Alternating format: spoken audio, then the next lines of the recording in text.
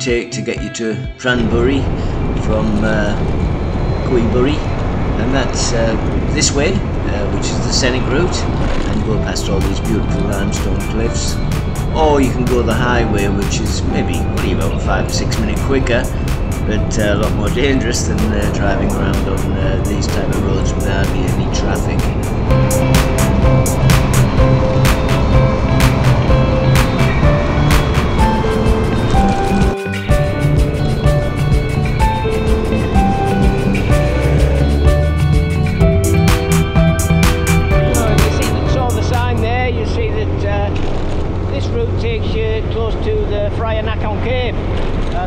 This way, very, very highly recommended. It looks like we're going to go through the Sam Roi Yot National Park uh, this way.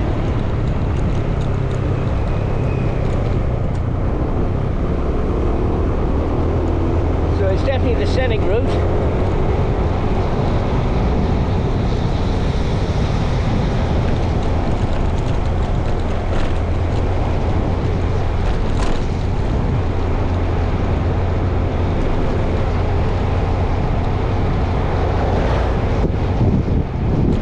Yeah, that's uh, Sam Roi Yot National Park entrance on the right hand side here, just where that stupid car just flew past me. um, yeah, just over there, that's the entrance. So yeah, we're going to go around uh, through Sam Roi Yot uh, to Pranburi, so it's a nice little drive. I recommend you take this one, not the motorway.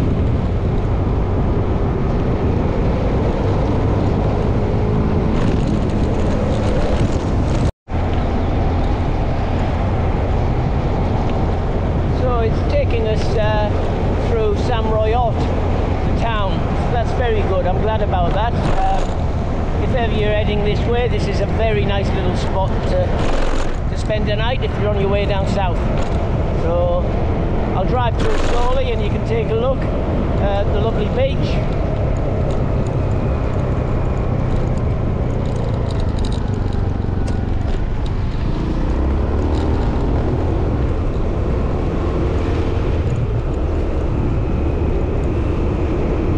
I stayed here not so long ago. I'll pull over here and I'll tell you. Yeah, I stayed here not so long ago. It's a beautiful little area for relaxing. Nothing much here for uh, expats to do uh, apart from sit at the beach, go out for dinner and relax. Uh, but there's nothing wrong with that. Some, that's some of the, my favourite things to do. But yeah, very nice area to come. As you can see, the beaches are deserted, uh, hardly anyone here. It's a Monday, but it's a public holiday. So um, perhaps uh, it's only early at the moment. Perhaps people will start coming down here for the day later. Uh, maybe on an evening uh, for dinner, uh, people might come down from uh, their local areas.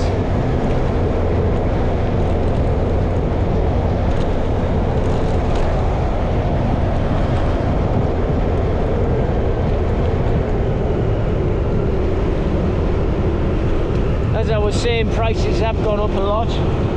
Um, oh, this is the hotel here that I stayed in last time, Chomtale Hotel.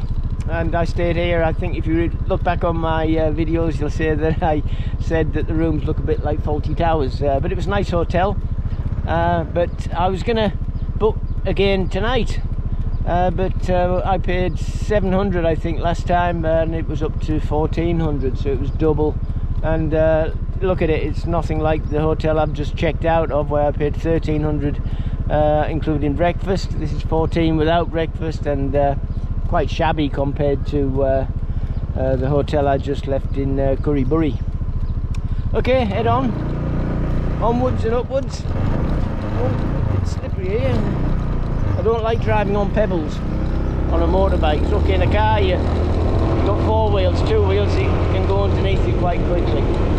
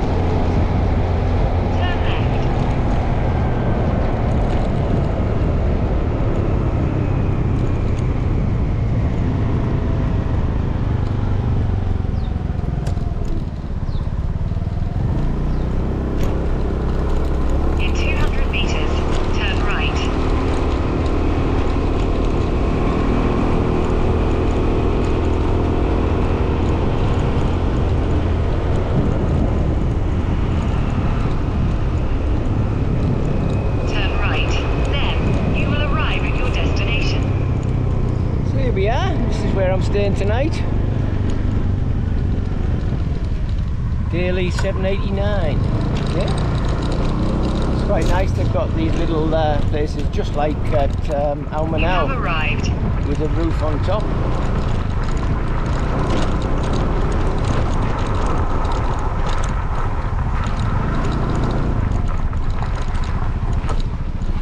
What do you? Uh, checking in, yeah? Yeah, check. Yeah, I, I show you. Different. Well, this is a little bit different than uh, Ban Krut and uh, Kuiburi. Um, not so upmarket, not on the beach. Uh, set back maybe 200 meters from the beach.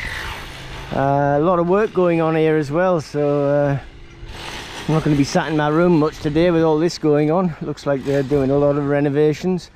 They've got a small swimming pool, and if you look back my last video, the swimming pool I was swimming in there doesn't even have any sun lounges or umbrellas, so uh, you, but you pay for what you get. Um, I could have stayed where I was, but I had to come and get closer to Hua Hin because I got the hospital appointment, so I had to head this way.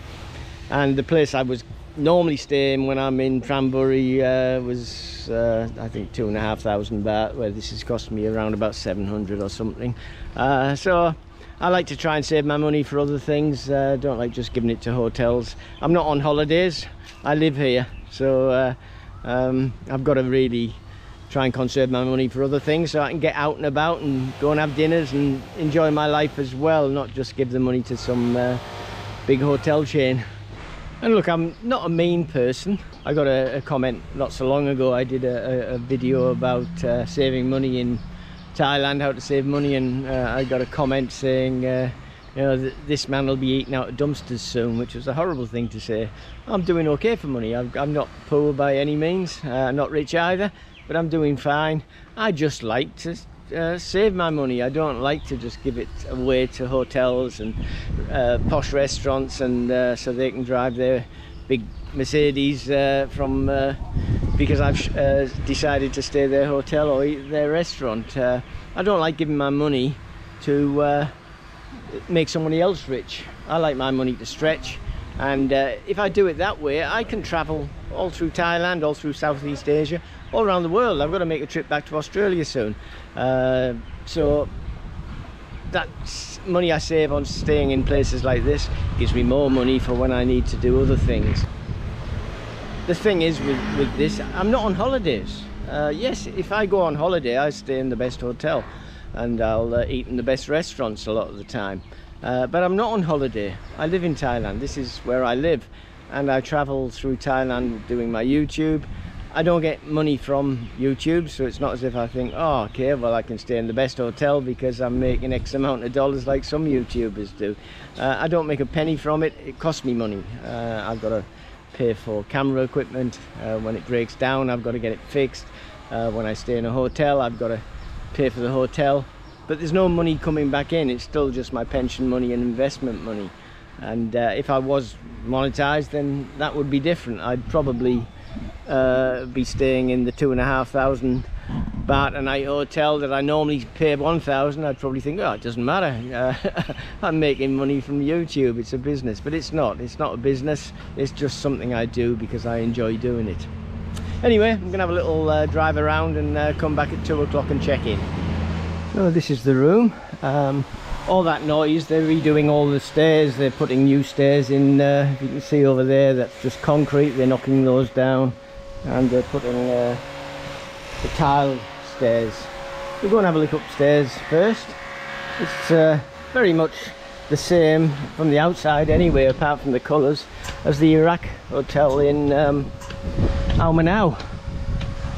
Got this lovely little rooftop thing. But the problem with this is, is not much point having a rooftop if you don't have uh, a table and chair to sit at. Uh, all this lovely space and you can't sit anywhere, which seems a bit of a shame.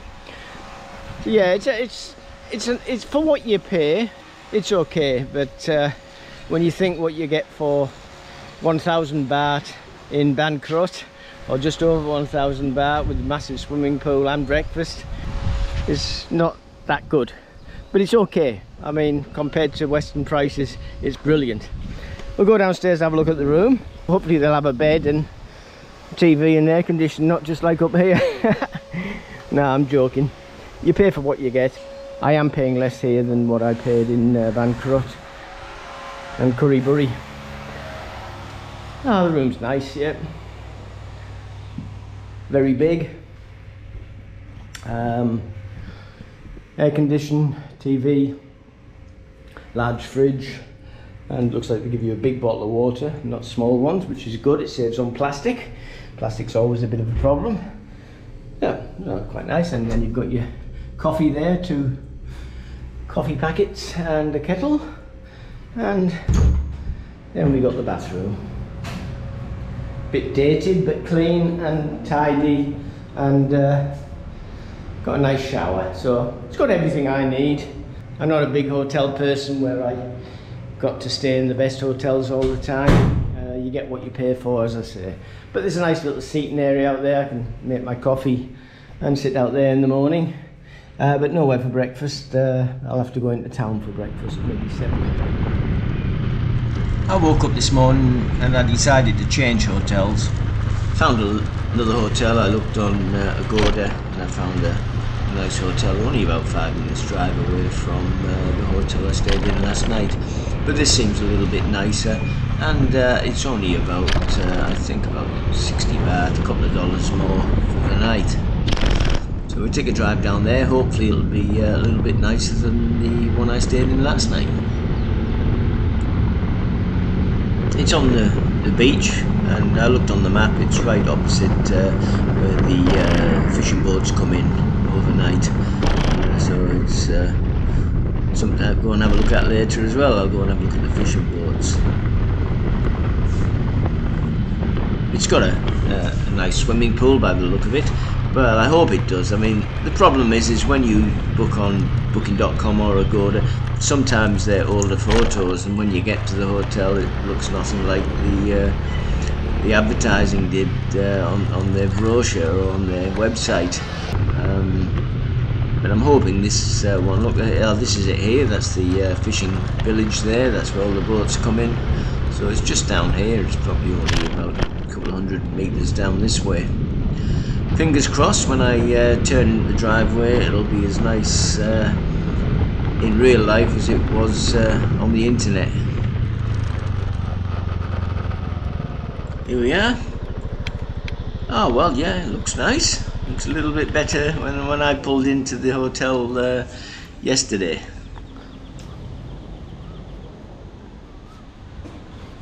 It's called the uh, Beach Thailand Hotel and uh, I saw a French flag flying over the top of the hotel so I assume it's owned by uh, a French person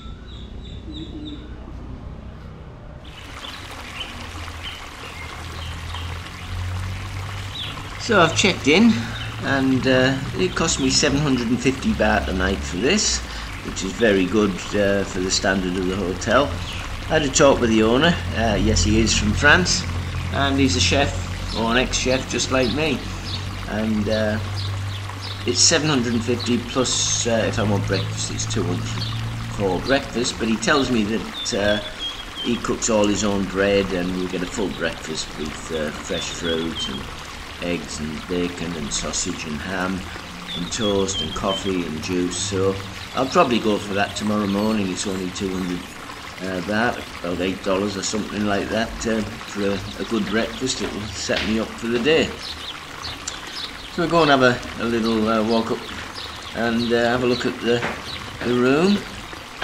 But it is very nice very um, Oh, I don't know. I suppose European. I suppose, yeah. Uh, it's very Spanish looking to me a little bit. Um, it's got a, a, beautiful pool. It's not massive, but uh, you can see it's well kept, and uh, it's got some beautiful sun lounges around there. Uh, unlike yesterday, I didn't go to the pool yesterday. It looked quite average. But wow, look at this. Uh, look at this room. It's decorated so beautifully. Nice big double bed. It's a very large room. and it has a kettle and some coffee and tea for the morning and uh, a few bottles of water there. The room also comes with a comfortable lounge suite that you don't often see in hotels.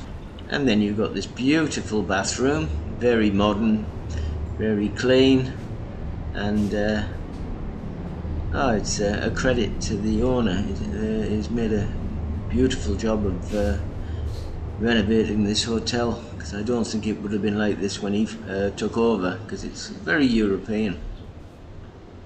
Oh, it's also got a, a fan as well as uh, the air conditioner. So I like a fan. I prefer to keep a fan on at night rather than the air conditioning. And then tomorrow morning I can make my coffee and go and sit down by the pool.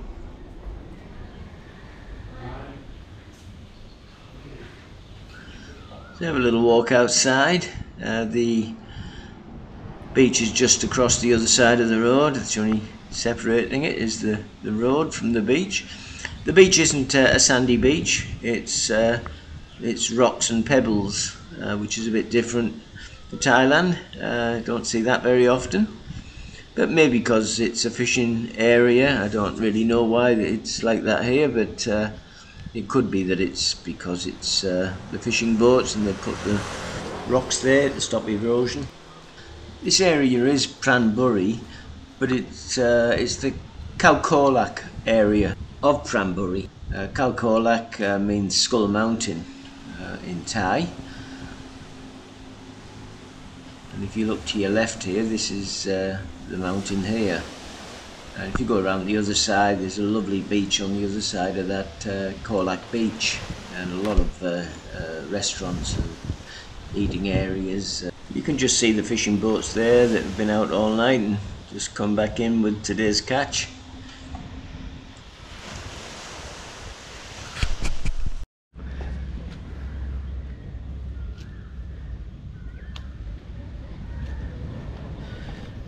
So it's uh, next morning here in uh, Pranburi.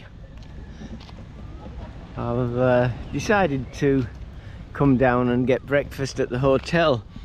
I'm not really a big breakfast person uh, unless it's included in the, the uh, price of the hotel then I'll always eat it because uh, it comes with the hotel room and I don't like to waste anything me.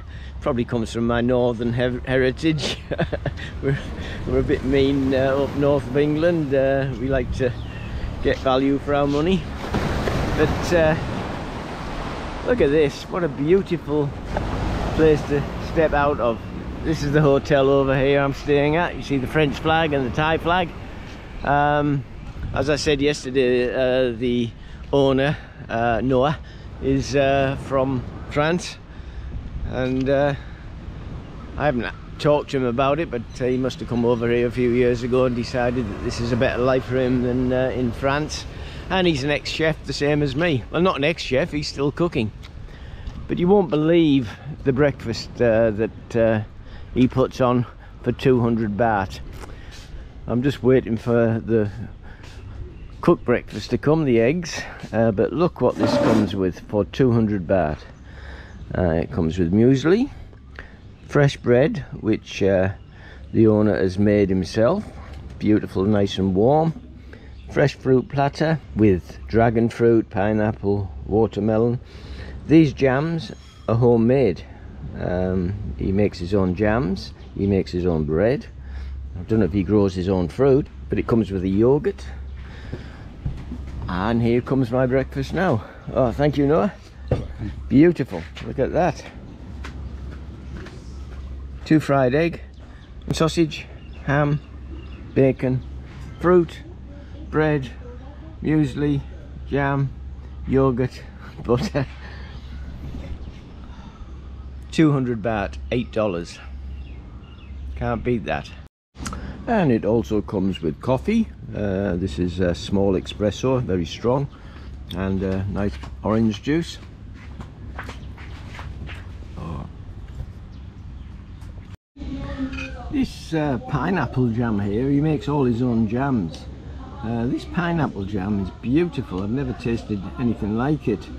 It's got um, ginger in it. It's a little bit spicy and I don't I thought when I first tasted it, I thought uh, maybe uh, I didn't like it, but then I thought, wow, very nice. It's different um, than most of your jams, which are just sweet. It's just got a little bit of spice, but uh, a lot of ginger in it, and it's very nice. Mmm. Got to be good if uh, he makes their own bread and their own jams. Very good chef. So I could only manage half that breakfast. It was far too big for me. I'm sure anyone with a bigger appetite would have no problem. Uh, but uh, I was struggling there with the bacon and eggs and uh, the bread. And I couldn't uh, stop eating the bread. It was that good. So I managed to eat the bread and the, the uh, fruit and the bacon, eggs and sausage. But I gave them usually a miss. Uh, I, I couldn't fit that in. But anyway, if you're coming past this way, if you're heading from Bangkok, or Hua Hin heading south or you just fancy a, uh, a little bit of a break from them places uh, fantastic place to come and stop. If you're heading back from somewhere like Phuket or Koh Samui and you're driving back to Bangkok to catch your flight uh, set off a day or two earlier and come somewhere like this because uh, it is very beautiful and uh, you really don't want to be driving non-stop from somewhere like Phuket to uh, Bangkok in one go. So it's a good place to stop, enjoy uh, a night, relax for a day, have some nice food, and uh, then head back uh, to Bangkok. So thanks very much for watching. If you haven't already done so, please subscribe. Uh, I need uh, more subscribers. I need more people to watch these videos as well. So if you can tell your friends and families, enemies, anyone uh, you think might be interested in learning a little bit about Thailand, tell them about my channel, pass on the link, and hopefully um, I'll get some more subscribers to uh, enable me to carry on doing these uh, videos. So that's all for now. Cheers, thanks for watching, and I'll see you in the next video. If you haven't already done so, please push the subscribe button. If you're thinking of retiring or living in Thailand, take a look at my book, The Retire in Thailand Handbook 2023, the next six years. It's crammed full of information to help you tiptoe over the logistics of making Thailand your home in retirement. Thanks a lot for watching my channel. So until next time, stay safe, keep smiling, and I'll see you in the next video. Cheers for now.